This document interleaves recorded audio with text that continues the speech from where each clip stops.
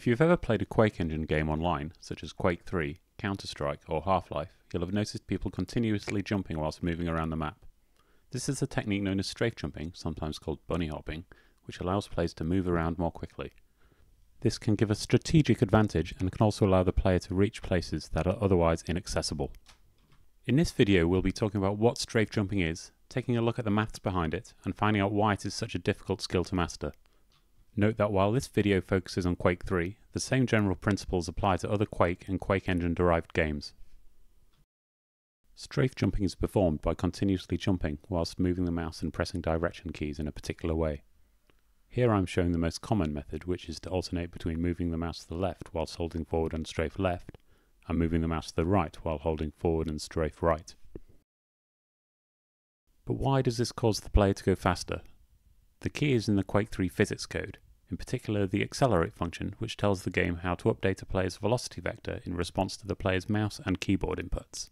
This function is called on every frame, and as long as the player is airborne and isn't about to collide with a wall or undergo some other impulse, it entirely determines the player's velocity along the ground plane from frame to frame. The main two inputs are the player's current velocity vel, shown on the diagram by the green arrow, and the user's intended direction wishdir, shown on the diagram by the blue arrow.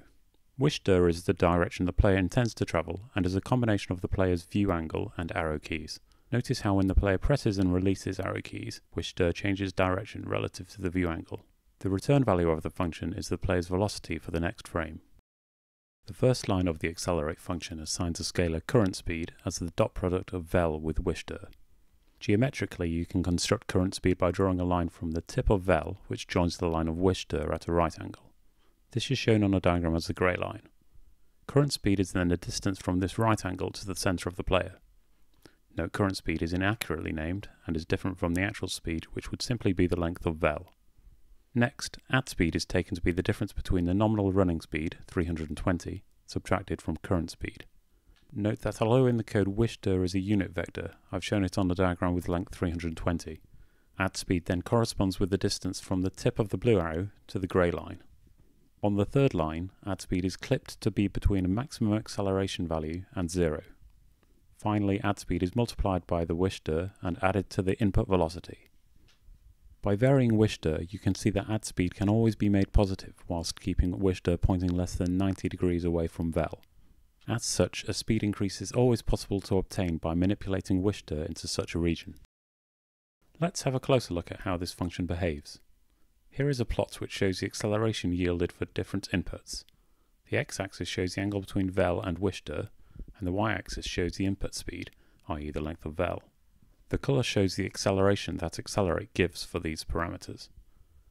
Notice the large dead zone in the centre. This corresponds with the places that add speed is clipped to zero. When changing from a left curving strafe jump to a right curving strafe jump, this dead zone must be crossed as quickly as possible in order to maximise speed gains which is the reason that players alternate between pressing forward and left and forward and right, because doing so instantly changes the wishdir by 90 degrees. Blue regions are areas where the mouse is moved too far and the wishdir points backwards, slowing down the player.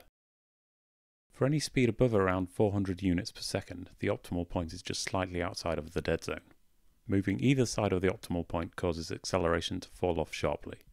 Because this optimal point has such a sharp fall off, combined with the fact that it's constantly moving, makes strafe jumping a very difficult skill to master. Being just a few degrees from the optimal angle and you'll be accelerating significantly slower than you could be. Once you've found this sweet spot, you quickly have to find it again on the other side when you change direction in order to maintain a straight line. I hope you found this video interesting and that it gave you some insight into this weird quirk of first-person shooter history. If you did, don't forget to like and subscribe, and if you have any questions, please don't hesitate to ask in the comments below.